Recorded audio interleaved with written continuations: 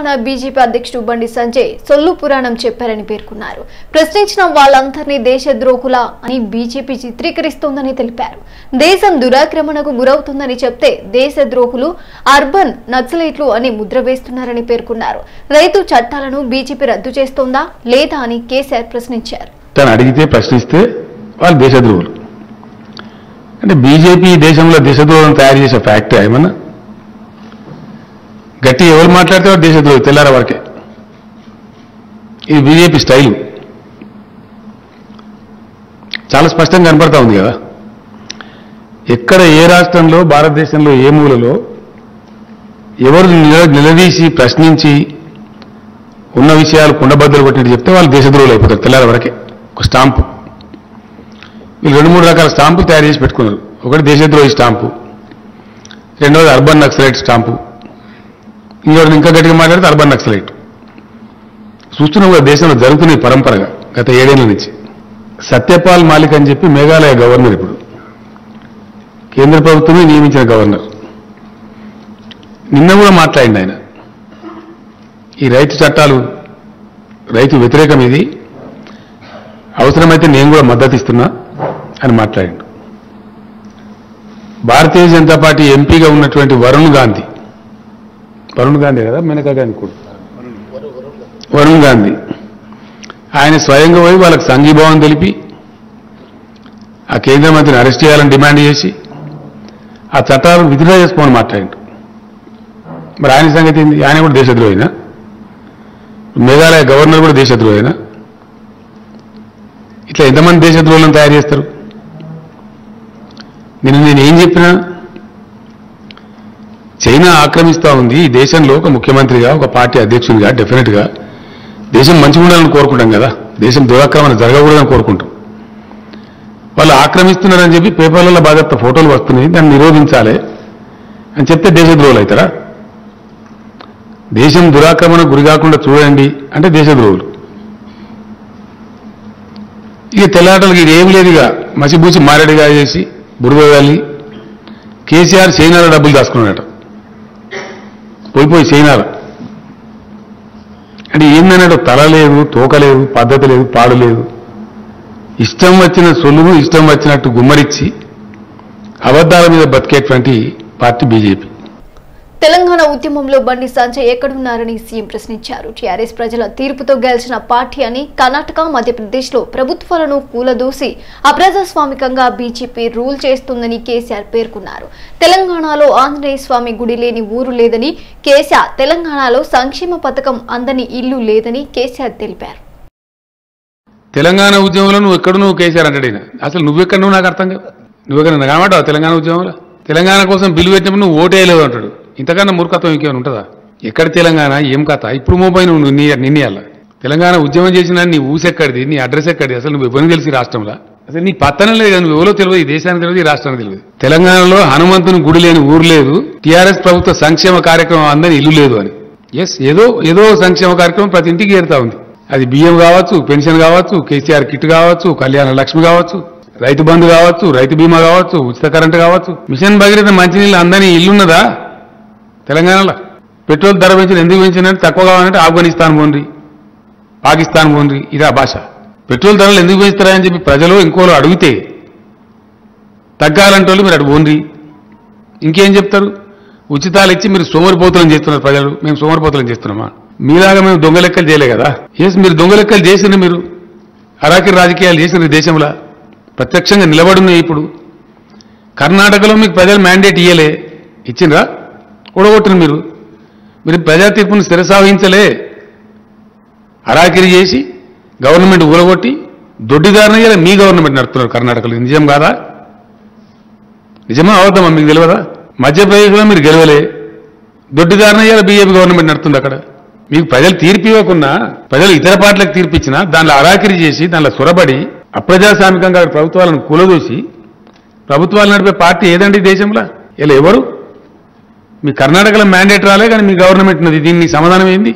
నేను ఊకున్న రోజులు నేను మన్నించిన రోజులు నేను మాట్లాడాన రోజులు నీ ఇష్టం వచ్చిన సొలుపురానం మాట్లాడాను కేంద్రం ఏడాదికి రెండు కోట్ల ఉద్యోగాలను ఇస్తామని చెప్పి ఉన్న ఉద్యోగాలను ఊడగొట్టిందని సీఎం కేసీఆర్ ఆరోపించారు. తాము లక్ష ముప్పై ఐదు వేల ఉద్యోగాలు ఇచ్చామని డెబ్బై వేల ఉద్యోగాలు ఇవ్వబోతున్నామని ఆయన తెలిపారు.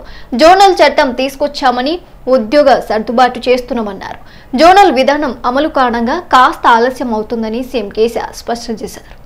మేము నిరుద్యోగులకు ఉద్యోగాలు ఇచ్చినాం ఎస్ లక్ష ముప్పై ఐదు వేల ఉద్యోగాలు ఇచ్చినాం మేము. బాజప్తా ఇయ్యబోతున్నాం ఇంకో డెబ్బై ఎనభై వేల మందికి ఇయ్యబోతా ఉన్నాం. కొత్త జోనల్ చట్టం తెచ్చినాం. ఆ ప్రకారం ఎంప్లాయీస్ అందరినీ మేము సర్దుబాటు చేస్తా ఉన్నాం. ముప్పై మూడు జిల్లాలు చేసినాం కాబట్టి పాలనా సౌలభ్యం కోసం వ్యవసాయ ఈ మొత్తం అన్ని శాఖలు కూడా రీఆర్గనైజ్ చేసినాం కాబట్టి ఉద్యోగస్తులందరినీ సర్దుబాటు చేస్తూ ఉన్నాం. మేము తెచ్చిన జోనల్ చట్టానికి మేము వ్యతిరేకంగా పోలేము కదా? ఉన్న ఉద్యోగస్తులందరూ అక్కడ అడ్జస్ట్ అయిన తర్వాత ఏ జిల్లా వారికి ఆ జిల్లా ఖాళీలు దొరుకుతాయి అక్కడ. ఇలా భూపాలపల్లి జిల్లా వరంగల్ టౌన్ వాళ్ళతో పోటీ పడలేరు. రేపు పొద్దున మేము నోటిఫికేషన్ ఇస్తే ఎట్లా ఇస్తాం? భూపాలపల్లిలో వచ్చే ఉద్యోగాలు ఆ జిల్లాలో వచ్చేటి భూపాలపల్లి వాళ్ళకి దక్కుతాయి. జిల్లా స్థాయి పోస్టులన్నీ. ములుగు జిల్లాలో దక్కేటి ములుగు వాళ్ళకి దక్కుతాయి. ఆసిఫాబాద్ జిల్లా ఆసిఫాబాద్ జిల్లా వాళ్ళకి దక్కుతాయి. ఈ మధ్య మేము వేసుకున్న అంచనాల ప్రకారం ఏంటంటే దాదాపు ఒక అరవై డెబ్బై వేల ఉద్యోగాలు ఖాళీ వస్తున్నాయి. నేను మొన్ననే చెప్పిన ఈవెన్ అసెంబ్లీలో కూడా చెప్పిన. మీలాగా మేము తప్పుడు మాటలు ఇష్టం వచ్చినట్టు మాటలు గోలుమాలు దింపుడు మాకు రాదు. ఏడాదికి రెండు కోట్ల ఉద్యోగాలు ఇస్తామని చెప్పిన కేంద్ర ప్రభుత్వం ఉన్న ఉద్యోగాలకు సంవత్సరానికి కోటి ఉద్యోగాలు చొప్పున ఒకటి మొత్తం ఘోషిస్తా ఉన్నది ప్రపంచం అంతా అన్ఎంప్లాయ్మెంట్ రేట్ దేశంలో ఎంత ఉన్నది? తెలంగాణలో ఎంత ఉన్నది? అన్ఎంప్లాయ్మెంట్ చాలా తక్కువ ఉన్న రాష్ట్రం తెలంగాణ అని చెప్పి అన్ని స్టడీ సంస్థలన్నీ చెప్తా ఉన్నాయి. ఈటెల రాజేందర్ పై ఉన్న కేసులు తిరగతోడేందుకు ప్రభుత్వం ప్రయత్నిస్తుందని బీజేపీ ఎమ్మెల్యే రఘునందన్ రావు ఆరోపించారు. హుజురాబాద్ ఎన్నికల్లో ఓడిపోయినందుకే టీఆర్ఎస్ ప్రభుత్వం కక్షపూరితంగా వ్యవహరిస్తుందని అన్నారు. రీసర్వేకు సహకరిస్తామని ఈటెల చెప్పిన దురుద్దేశంతో ప్రభుత్వం వ్యవహరిస్తుందని ఆయన చెప్పారు. ఓటమిని ప్రభుత్వం జీర్ణించుకోలేకపోతుందని ఆయన చెప్పారు. రాజేందర్ గారిని రాష్ట్ర కేబినెట్ నుంచి బర్తరఫ్ చేసే కంటే ముందు ముఖ్యమంత్రి గారు వేసినటువంటి ఎలిగేషన్స్కి సంబంధించి ఉప ఎన్నిక ముగిసిన తర్వాత ప్రజా తీర్పు ఈటల రాజేందర్ గారికి అనుకూలంగా వచ్చిన తర్వాత మళ్ళీ కేసుల్ని తిరగదోడేందుకు ప్రయత్నం చేస్తూ రీసర్వే చేయాలని రాష్ట్ర ప్రభుత్వం నిర్ణయించింది. ఈ వెల్కమ్ ఇట్ మాకేం ఇబ్బంది లేదు. రాష్ట్ర సర్వోన్నత న్యాయస్థానం ఇచ్చినటువంటి ఉత్తర్వుల మేరకు మీరు తీసుకునేటువంటి ఏ చర్యనైనా నేను చట్ట ప్రకారం ఎదుర్కోవడానికి నేను సిద్ధంగా ఉన్నాను. ఈటల రాజేందర్ గారు కానీ శ్రీమతి ఈటల జమున గారు కానీ దేవర్ నుంచి ఒకటే మాట చెప్తా ఉన్నారు. If it is government land if it is assign land చట్ట ప్రకారం తీసుకునేటువంటి అన్ని చర్యలకి మేము రాష్ట్ర ప్రభుత్వానికి సహకరిస్తామని చెప్తా ఉన్నాం. కానీ మేము కోరుకుంటుంది వెంజన్స్ పాలిటిక్స్ ఉండొద్దు. ప్రజల తీర్పు నీకు వ్యతిరేకంగా వచ్చింది కాబట్టి ప్రజలు మీరు చేసినటువంటి ఆరోపణలు తిరస్కరించారు కాబట్టి ఏదో కక్షపూరితంగా మళ్ళీ ఒకసారి వేధించాలనేటువంటి ఉద్దేశంతో తిరిగి రీసర్వేను ఆర్డర్ చేస్తే మాత్రం ప్రజలు మిమ్మల్ని మరొకసారి తిరస్కరిస్తారని ఈ సందర్భంగా రాష్ట్ర ప్రభుత్వాన్ని హెచ్చరిస్తా ఉన్నాం. నిష్పక్షపాతంగా జరిగేటువంటి ఏ సర్వేకైనా నిష్పక్షపాతంగా జరిగేటువంటి ఎట్లాంటి విచారణకైనా ఈటల రాజేందర్ గారు ప్రజాక్షేత్రం నుంచి వచ్చిర్రు. న్యాయక్షేత్రంలో కూడా పోరాడడానికి సిద్ధంగా ఉన్నామని ఈ సందర్భంగా అల్లాపూర్ డివిజన్లో ఎమ్మెల్యే మాధవరం కృష్ణారావు పర్యటించనున్నారు. ఈ నేపథ్యంలో కూకట్పల్లి నియోజకవర్గం అల్లాపూర్ డివిజన్ పరిధిలోని పర్వత్ నగర్ యూసుఫ్ నగర్లో కార్పొరేటర్ సభ్య గౌసిద్దీన్ ఎమ్మెల్యే పర్యటన ఏర్పాట్లను పరిశీలించారు. అలాపూర్ డివిజన్ పలు అభివృద్ధి కార్యక్రమాలను ప్రారంభించనున్నట్లు ఎమ్మెల్యే మాధవరం కృష్ణారావు తెలిపారు. ఈ ప్రారంభోత్సవ కార్యక్రమాలకు టీఆర్ఎస్ పార్టీ నాయకులు కార్యకర్తలు పెద్ద ఎత్తున పాల్గొని విజయవంతం చేయాల్సిందిగా పిలుపునిచ్చారు. ఈ కార్యక్రమంలో సంక్షేమ సంఘం అధ్యక్షులు బాబా షరీఫ్ శ్రీనివాస్ యాదవ్ మహబూబ్ అబ్దుల్ హమీద్ శ్రీనివాస్ రెడ్డి రేవతి చిట్టెమ్మ వాణి యోగిరాజు పాల్గొన్నారు. రంగారెడ్డి జిల్లా చేబెళ్ళలోని మూడిమ్యాల్ రావులపల్లి పంచాయతీలలో ఎమ్మెల్యే కాళ యాదయ్య శుభోదయం కార్యక్రమం నిర్వహించారు. అందులో భాగంగా గడప గడపను సందర్శించారు. ఈ సందర్భంగా ప్రజల సమస్యలను అడిగి తెలుసుకున్నారు. తన దృష్టికి వచ్చిన సమస్యలను వెంటనే పరిష్కరించాలని అధికారులకు ఆదేశించారు. శుభోదయం కార్యక్రమాన్ని జనవరిలో ప్రారంభించామని కరోనా కారణంతో నెల రోజులే నడిపించామని తెలిపారు. పరిస్థితులు అనుకూలించడంతో ఇప్పుడు మళ్ళీ పునఃప్రారంభోత్సవం చేస్తామని ఎమ్మెల్యే తెలిపారు. ప్రజల సమస్యలు తెలుసుకోవడానికి మండలాలలో గ్రామాలలో గడప గడప తిరిగి ప్రజల సమస్యలు తెలుసుకుని పరిష్కరిస్తామని అన్నారు.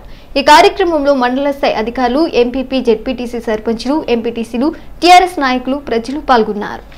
శుభోదయం అనే కార్యక్రమం జనవరి రెండు తారీఖు నాడు రెండు వేల ఒకటి నాడు స్టార్ట్ చేయడం జరిగింది. మరి దాదాపు ఇది ప్రోగ్రామ్ ఎట్లుంటుందంటే మండలం ప్రతి మండలం ప్రతి గ్రామం టచ్ చేయాలి ఆ గ్రామంలో ఉన్నటువంటి సమస్యలు తెలుసుకోవడం కోసమే ఈ శుభోదయం కార్యక్రమం తీసుకోవడం జరిగింది. మరి ఈ శుభోదయం తీసుకున్న తర్వాత వన్ మంత్ అయిన తర్వాత కోవిడ్ రావడం వల్ల ఈ కరోనా రావడం వల్ల ఆఫ్ చేసినాం మళ్ళీ కరోనా అయిపోయిన తర్వాత మళ్ళీ ప్రతి గ్రామం టచ్ చేయాలని శుభోదయం కార్యక్రమం పునఃప్రారంభిస్తున్నాం. ఈరోజు మునిమేల రావులపల్లి గ్రామంలో మరి ఉన్నటువంటి సమస్యలు తెలుసుకోవడం జరిగింది. మరి చాలా సమస్యలు ఉన్నాయి. ఈ ప్రధానంగా మునిమేల గేట్ నుంచి రావులపల్లి వరకు రోడ్ కానీ ఈ ఇంటర్నల్ రోడ్డు సీసీ రోడ్డు గేట్లు ఉన్నాయి. ఈ సమస్యలు కూడా తెలుసుకొని ప్రభుత్వం దృష్టి తీసుకుపోవడానికి ఈ యొక్క కార్యక్రమం ఎంచుకోవడం జరిగింది. ప్రతి మండలంలో ప్రతి గ్రామానికి ప్రతి ఆమ్లెట్ గ్రామం ప్రతి ఇల్లు తిరిగి ఇక్కడ ఉన్నటువంటి లోకల్ సమస్యలు తెలుసుకోవడమే శుభోదయం ముఖ్య ఉద్దేశం. కాబట్టి ఈ కార్యక్రమానికి పాల్పంచుకుంటున్నటువంటి ఎంపీపీ విజయలక్ష్మి గారు జడ్పీటీసీ మాలతి కృష్ణారెడ్డి గారు స్థానిక సర్పంచి శ్రీనివాస్ గారు మరి అదేవిధంగా దాస్ గారు ప్రభాకర్ గారు మా పార్టీ ప్రెసిడెంట్ గారు డీసీఎంఎస్ చైర్మన్ మండల నాయకులు గౌరవ సర్పంచులు గౌరవ ఎంపీటీ సభ్యులందరూ కూడా ఈ కార్యక్రమానికి వచ్చినందుకు వారందరికీ కూడా పేరు పేరున హృదయపూర్వక ధన్యవాదాలు. తన కుమార్తె వివాహానికి రావాల్సిందిగా Telangana deputy speaker Padmarao Goud megastar చిరంజీవికి ఆహ్వాన పత్రికను అందించారు. ఈ నెల పదకొండున సికింద్రాబాద్లో జరిగిన కూతురు మౌనిక వివాహానికి రావాలని కోరారు. ఈ నేపథ్యంలో పద్మారావు గౌడ్ చిరంజీవికి ఆహ్వానాన్ని అందించారు. కార్యక్రమంలో టీఆర్ఎస్ యువ నేత త్రినేత్ర గౌడ్తో పాటు పలువురు నేతలు పాల్గొన్నారు. మేడ్చల్ జిల్లా కోంపల్లి కాంగ్రెస్ పార్టీలో వర్గ విభేదాలు బగ్గుమన్నాయి కోమటిరెడ్డి వెంకటరెడ్డి పేరుతో ఉన్న ఫ్లెక్సీలను గుర్తు తెలియని వ్యక్తులు బ్లేడ్తో కత్తిరించారు. అయితే కాంగ్రెస్లోని ఓ వర్గానికి సంబంధించిన ఫ్లెక్సీలను హోర్డింగ్లను కడెట్లను కత్తిరించినట్లు మరో వర్గం సభ్యులు ఆరోపిస్తున్నారు. కోంపల్లిలో ఫంక్షన్ హాల్లో ఈ నెల తొమ్మిది పదో తేదీలో కాంగ్రెస్ పార్టీ శిక్షణ తరగతులు జన జాగరణ యాత్ర పేరిట సదస్సు ఏర్పాటు చేశారు. దీనికి సంబంధించిన సీనియర్ నాయకుడు కోమటిరెడ్డి వెంకటరెడ్డి పేరుతో ఆదివారం పెద్ద ఎత్తున భారీ హోర్డింగ్లు కటౌట్లు ఫ్లెక్సీలు ఏర్పాటు చేశారు మాయపాల్ రెడ్డి. కోమటిరెడ్డి వెంకటరెడ్డి అనుచరుడిగా కొనసాగుతున్న మైపాల్ రెడ్డి ఏర్పాటు చేసిన ఫ్లెక్సీలను మాత్రమే తొలగించడంపై ఒక్కసారిగా వర్గం ఆవేదన వ్యక్తం చేసింది సదస్సుకు ఒకరోజు ముందే వర్గ విభేదాలు బయటపడటం రాజకీయ వర్గాల్లో హాట్ టాపిక్గా మారింది.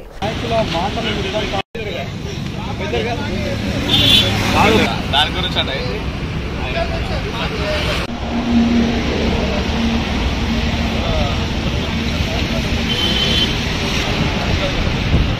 రాష్ట్ర వ్యాప్తంగా గౌడ ఎస్సీ ఎస్టీలు ఆర్థికంగా పరిపుష్టి సాధించేందుకు మద్యం దుకాణాలను లాటరీ ద్వారా కేటాయించినట్లు రాష్ట్ర ఎక్సైజ్ శాఖ మంత్రి శ్రీనివాస్ గౌడ్ తెలిపారు. రాష్ట్ర వ్యాప్తంగా ఉన్న రెండు వేల ఆరు వందల ఇరవై మద్యం దుకాణాలలో గౌడలకు పదిహేను శాతం ఎస్సీలకు పది శాతం ఎస్టీ కులస్తులకు రిజర్వేషన్ ప్రకారం కేటాయించినట్లు తెలిపారు. మహబూబ్ నగర్ జిల్లా కలెక్టర్ కార్యాలయంలో మహబూబ్ నగర్ నారాయణపేట జిల్లాలకు సంబంధించిన గౌడ ఎస్సీ ఎస్టీ కులాలకు లాటరీ ద్వారా నిర్వహించిన మద్యం దుకాణాల ఎంపిక కార్యక్రమానికి మంత్రి శ్రీనివాస్ గౌడ్ హాజరయ్యారు.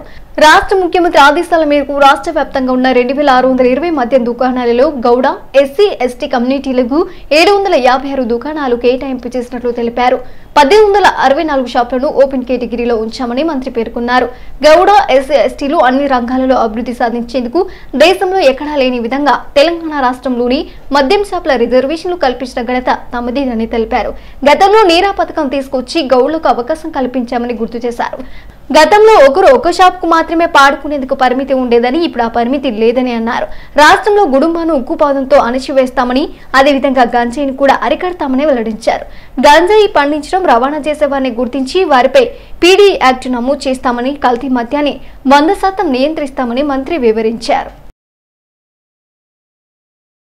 తెలంగాణ ఉద్యమంలో కీలక పాత్ర పోషించిన ఎర్రోల శ్రీనివాస్కి ఎమ్మెల్సీ పదవి ఇవ్వాలని టీఆర్పీఎస్తో పాటు టీఎంఎస్టీ నేతలు ప్రభుత్వానికి విజ్ఞప్తి చేశారు. Errolla Srinivas SC ST commission చైర్మన్గా ఉన్నప్పుడు మాల మాదిగలకు ఎన్నో సేవలు చేశారని వారు అన్నారు. ఉద్యమ సమయంలో కూడా శ్రీనివాస్ పార్టీకి ఎన్నో సేవలు చేశారని టీఎంఆర్పీఎస్ నేతలు తెలిపారు. తెలంగాణ ఉద్యమంలో కీలక పాత్ర పోషించిన ఎర్రోల శ్రీనివాస్కి ఎమ్మెల్సీ పదవి ఇవ్వాలని టీఎంఆర్పీఎస్తో పాటు డిఎంహెచ్టీ నేతలు ప్రభుత్వానికి విజ్ఞప్తి చేశారు. Errolla Srinivas SC ST commission చైర్మన్గా ఉన్నప్పుడు మాల మాదిగలకు ఎన్నో సేవలు చేశారని వారు అన్నారు. ఉద్యమ సమయంలో కూడా శ్రీనివాస్ పార్టీకి ఎన్నో సేవలు చేశారని టీఎంఆర్పీఎస్ నేతలు తెలిపారు. కేసీఆర్ గారు రేపు ఎమ్మెల్సీ పదవులు ఇవ్వడానికి రాష్ట్ర కమిటీతో మరి మంత్రులతో ఎమ్మెల్యేలతో రేపు సమావేశం ఏర్పాటు చేస్తుంది కాబట్టి తెలంగాణ రాష్ట్రంలో మాదిగ జనాభా ఎక్కువ ఉంది. పన్నెండు శాతం ఉన్న మాదిగలకు ఎమ్మెల్సీ ఇవ్వాలని చెప్పి ఈరోజు సమావేశం ఏర్పాటు చేసినాం. తెలంగాణ ఎంఆర్పిఎస్ తరఫున మేము ఒకటే కోరుకుంటా ఉన్నాం. తెలంగాణ రాష్ట్రం వచ్చిన తర్వాత ముఖ్యమంత్రి కేసీఆర్ గారు మొదట ముఖ్యమంత్రి అయిన తర్వాత మాదిగలకు ప్రాధాన్యత ఇచ్చిండు. మరి రెండోసారి ముఖ్యమంత్రి అయిన తర్వాత మాదిగలకు అంతంత మాత్రాన్ని ప్రాధాన్యత ఉంది కాబట్టి మాదిగ సామాజిక వర్గానికి చెందినటువంటి డాక్టర్ ఎర్రోల శ్రీనివాస్ గారికి ఎమ్మెల్సీ పదవి ఇచ్చి మాదిగలకు న్యాయం చేయాలని చెప్పి ఈ సందర్భంగా తెలియజేస్తూ ఉన్నాం. మరి అదేవిధంగా తెలంగాణ రాష్ట్రం కోసం డప్పులు కొట్టిన వాళ్ళు మాదిగలు పాటలు పాడిన వాళ్ళు డబ్బు మాదిగలు మరి త్యాగాలు చేసిన వాళ్ళు వాళ్ళందరూ కూడా మాదిగలు కాబట్టి కేసీఆర్ గారు గుర్తించి మరి మాదిగ కులానికి ఎమ్మెల్సీ ఇస్తే డాక్టర్ ఎర్రోల శ్రీనివాస్ గారు ఎస్సీ ఎస్టీ కమిషన్ చైర్మన్గా కూడా అనేక కార్యక్రమాలు చేసి ఈ రాష్ట్రంలో ఎస్సీ ఎస్టీలో కూడా న్యాయం చేసిండు. విద్యార్థి విద్యార్థి ఉద్యమాన్ని కూడా ఉస్మానియా యూనివర్సిటీలో ఉవ్వెత్తున లేపినటువంటి ఒక మంచి నాయకుడు మనసున్న నాయకుడు డాక్టర్ ఎర్రోల శ్రీనివాస్ కాబట్టి ఎర్రోల శ్రీనివాస్ గారికి ఎమ్మెల్సీ పదవి ఇచ్చి మాదిగలకు పెద్దపీట వేసి తెలంగాణ రాష్ట్రంలో మంత్రి పదవి లేదు కాబట్టి దాన్ని పూడ్చే విధంగా మాదిగలకు న్యాయం చేయాలని చెప్పి సందర్భంగా తెలియజేస్తా ఉన్నాను తెలంగాణలో అధిక జనాభా కలిగిన మాదిగ సామాజిక వర్గానికి ఎమ్మెల్సీ పదవి ఇవ్వాలని రాష్ట్ర విద్యార్థి ఉద్యమ నాయకుడు ఎస్సీ కార్పొరేషన్ మాజీ chairman doctor Pidamarthi Ravi demand చేశారు. మాదిగ సామాజిక వర్గం ఇతర ఏ కులానికి ప్రత్యామ్నాయం కాదని ఎమ్మెల్సీ నామినేటెడ్ పోస్టు మాదిగలకు మాత్రమే ఇవ్వాలని కోరారు. వర్గీకరణ సాధన కోసం డిసెంబర్ నెలలో చలో ఢిల్లీ కార్యక్రమం నిర్వహించబోతున్నట్లు అందులో భాగంగా పదమూడున ఒకరోజు దీక్ష పద్నాలుగున జంతర్ మంతర్ వద్ద నిరసన చేపడతామన్నారు. మాదిగలకు పన్నెండు శాతం రిజర్వేషన్లు కల్పించాలని విజ్ఞప్తి చేశారు. తెలంగాణ రాష్ట్రంలో జనాభా పరంగా అతిపెద్ద కులైన మాదిగ జాతికి పన్నెండు శాతం రిజర్వేషన్ కోసం డిసెంబర్ పదమూడు పద్నాలుగు తారీఖులో చలో ఢిల్లీ కార్యక్రమాన్ని నిర్వహించబోతా ఉన్నాం. దాదాపుగా మూడు దశాబ్దాలుగా వస్తూ ఉంది. కాంగ్రెస్ బీజేపీలో మాదిగ జాతిని మోసం చేసినాయి. ఇంకా మాదిగ జాతిని మొదలుపెడతా ఉన్నారు. ముఖ్యంగా కేంద్ర మంత్రి కిషన్ రెడ్డి గారు కృష్ణమాదిగ వ్యక్తిగతంగా సాయం చేసుకుంటూ అది మాదిగ జాతికి ఉపకారం ఉన్నట్టుగా భావిస్తా ఉన్నాడు. మీ మధ్యలో బంధుత్వం స్నేహం ఉంటే కొనసాగించండి. తప్పించే అది మాదిగ జాతికి ఉపయోగం కాదని మీ నిజంగా మాదిగ జాతికి మీద ప్రేమ ఉన్నట్టయితే ఈ పార్లమెంట్లో బిల్లు పెట్టియండి. తెలంగాణ రాష్ట్రంలో జనాభా దామార్శం ప్రకారం మాదిగలకు పన్నెండు శాతం రిజర్వేషన్ ఇవ్వండి. అంతేగాని కృష్ణమాదిగలకు వ్యక్తిగతంగా సాయం చేసినంత మాత్రాన అది మాదిగ జాతికి ఏమాత్రం కూడా అది ఉపయోగం కాదని కూడా ఈ సందర్భంగా కిషన్ రెడ్డి గారికి విజ్ఞప్తి చేస్తా ఉన్నా. మీరు కేంద్ర హోంమంత్రి సహాయ మంత్రిగా ఉన్నప్పుడే పార్లమెంట్లో బిల్లు పెట్టాల్సింది. ఇప్పుడు మీరు పర్యాటక శాఖకు వచ్చిండ్రు. మీరేమో కేంద్రంలో ఏడుగురు న్యాయమూర్తుల ధర్మాసనాన్ని ఏర్పాటు ఏర్పాటు చేపిస్తారని మాదిగ సమాజాన్ని మొదలుపెడతా ఉన్నారు. ఇప్పటికి కూడా పార్లమెంట్లో బిల్లు పెట్టే అవకాశం ఉంది. రాష్ట్రాలు చేసుకోవచ్చని సుప్రీంకోర్టు చెప్పినాక కూడా మీరు ఇంకా మాదిరి జాతిని మోసం చేస్తూ పబ్బం కడుకుంటా ఉన్నారు. బీజేపీ పార్టీ కూడా ఒక వంద రోజుల వర్గీకరణ చెప్పేసి మాదిగ జాతిని మోసం చేసింది.